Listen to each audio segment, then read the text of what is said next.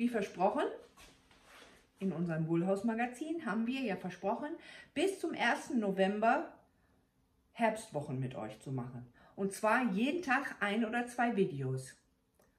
Das erste Video, was wir euch zeigen, oder was ich mit euch machen möchte, sind gefüllte Pilze.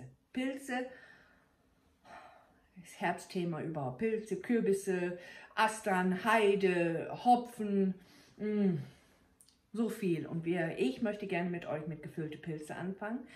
Schriftlich ist unten in der Infobox, schreibe ich alles für euch auf. Aber an dieser Stelle freuen wir uns auch auf einen Daumen hoch, auf ein Abo von euch und natürlich, wenn ihr immer benachrichtigt werden wollt, gerne die Glocke, die ist da auch irgendwo die richtige YouTuber, die sagen immer, da oben oder da unten oder da rechts, ich weiß es nie. Also irgendwo unten in der Infobox ist eine Glocke und da könnt ihr Klingeling machen und dann bekommt ihr Bescheid gesagt, wenn wir was Neues machen. Thema Pilze. Große Pilze. Ich habe sechs Stück schon für euch vorbereitet. Ich habe sie hier. So, oh, lecker, lecker, lecker. Die kommen im Backofen für circa 10 Minuten bis eine Viertelstunde. Je nachdem, also ich mache sie immer auf 200, also dass es auch schön braun wird. Aber ihr könnt sie auch super in den Airfryer machen. Das mache ich auch ganz, ganz oft. Aber was ihr habt, entweder Backofen oder Airfryer, wichtig ist, die sind so saftig und die mag ich wirklich auch als Vorspeise super, super gerne. Was ihr dafür braucht, ich habe sechs Stück gemacht und die äh, Menge, Mengenangaben sind auch tatsächlich für äh, sechs gefüllte Pilze. Wichtig ist, ihr braucht so nur ein bisschen abzuwaschen. Die Mitte raus. Oh, die essen, ich, ich liebe Pilze. Ich liebe Pilze in jede Form. Also tatsächlich, ob es roh sind, die esse ich gerne roh. Ich esse gerne als Pilzsuppe. Mh, mm, gefüllt sowieso. Schön über ein Schnitzel gebraten mit Zwiebeln sind frisch. Ist auch super, super lecker. Also, manche sagen, Ihr könnt sie so essen. Ich schäle meine auch tatsächlich gerne. Ich schäle einfach die Haut ab. Ich zeige es euch. Es packt man recht gut an. Normalerweise, ich, ich bin pingelig. Das ist das, was man als Kind auch tatsächlich mitbekommen hat. Meine Großmutter hat die Pilze immer geschält. Wie oft ich mit meinen Großeltern tatsächlich Pilze suchen war, in their good old days, kann ich gar nicht sagen. Also hm, wir haben viele Pilze, Pilze gesucht. Also mein Großvater wusste auch immer die guten Stellen. Also das ist, ist tatsächlich so. Also, ein Pilz, sechs Stück, ausbrechen, ne, den Stiel abbrechen, schälen oder wirklich nur ganz vorsichtig abbürsten, so wie ihr das gewohnt seid. Was ihr dafür braucht, ist noch ein Schüssel. Und zu meinem Schüssel Habt ihr auch noch so Erinnerungs-, Kindheitserinnerungen, was die Großeltern benutzt haben? Also meine Großmutter hat immer so ein, ja, hat sie Kuchen drin angerührt, da hat sie äh, Frikadellen drin gemacht. Die hatte sie auch in drei, vier verschiedene Größen und es war auch tatsächlich, tatsächlich in England. Das ist Mason Craft. Die haben sie neu neu, ne, und neu aufleben lassen und die haben sie in richtig zart rosa und die schönste pastelligen Farben, aber ich habe sie mir tatsächlich in Originalfarbe gekauft, weil das erinnert mich tatsächlich an meine Kindheit und das ist, macht mir schön wolligen Gefühl im Bauch. Weiß ich auch nicht. Seid ihr auch so gerne in die Kommentare schreiben? Habt ihr auch Sachen, was eure Großeltern, äh, Großeltern, Eltern immer benutzt haben? Ich kann euch nicht sagen, ich weiß nicht, wie oft ich so eine Schüssel auslecken durfte, wenn da Kuchen, Kuchen drin war. Auf jeden Fall eine Schüssel. Was ihr dazu noch braucht, ist 6 Esslöffel Creme Fraiche.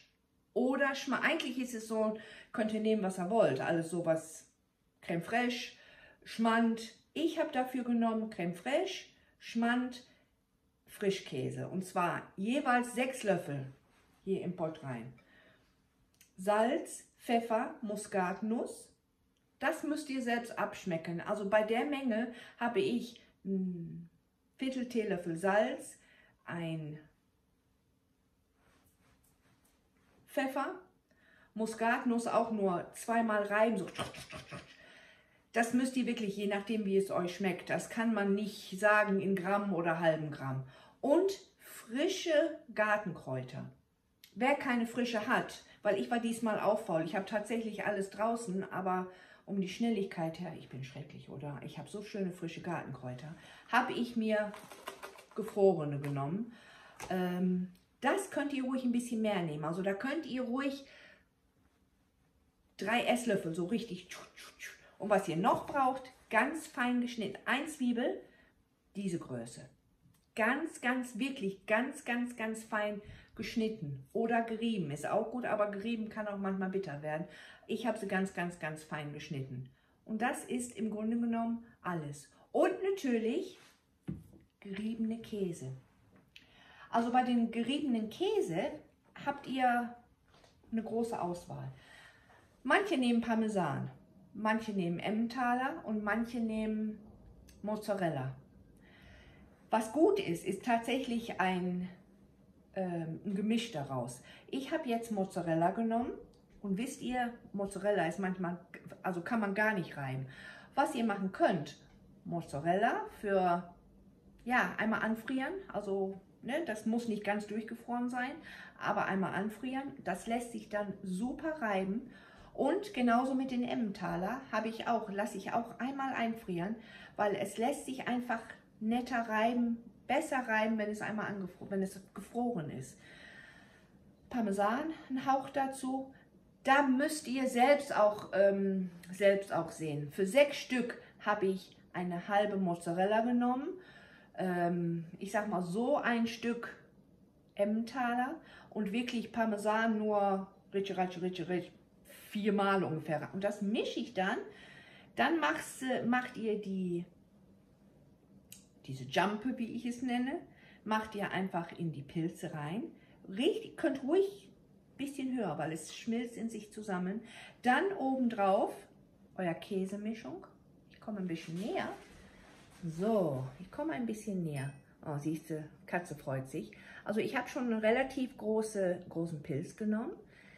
Die Masse. Ich gehe ein bisschen weiter weg, mein Kopf ist abgeschnitten. Sika, du bist, du bist der Held im Kartoffelfeld. Diese Jumpe, also diese Mischung, richtig reinpressen.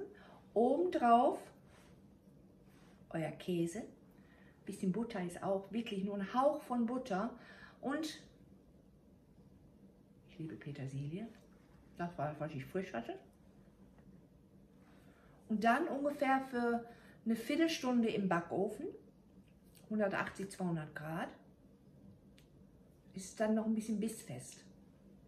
Vor allen Dingen könnt ihr super mit ein bisschen Weißbrot, Kürbisbrot zum Beispiel, das kommt auch diese Woche. Vielleicht macht das zusammen. Aber diese gefüllte Pilze könnt ihr ruhig als Vorspeise oder auch wenn ihr tatsächlich vier Stück esst. Ich esse sechs, ich bin ja ein kleiner Vielfraß. Einfach ein bisschen ähm, Kochschinken dazu oder ohne Kartoffeln, ohne irgendwas.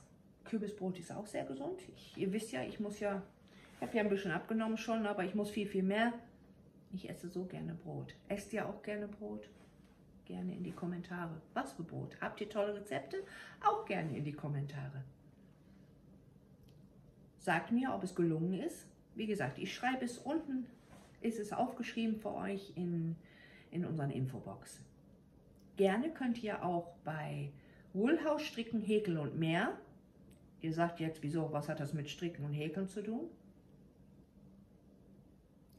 Es heißt mehr. Wohlhaus, Stricken, Häkeln und mehr. Und dieses Thema ist jetzt und mehr.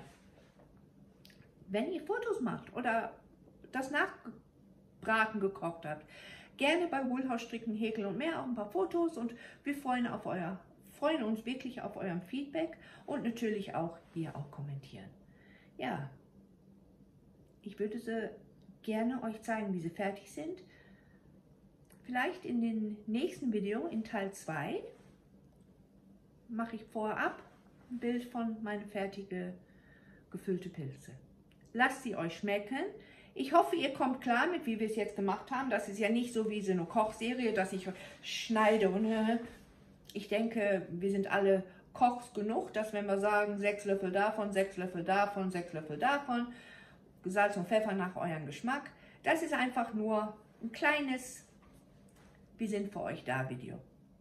Habt es schön heute. Lasst es euch schmecken und bis morgen.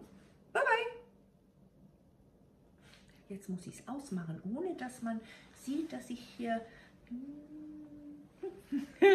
oh mein Gott, ihr müsst doch denken, ich bin bekloppt. Bin ich auch. Irgendwie ein bisschen, bisschen bin ich. Habt's schön heute. Tschüss.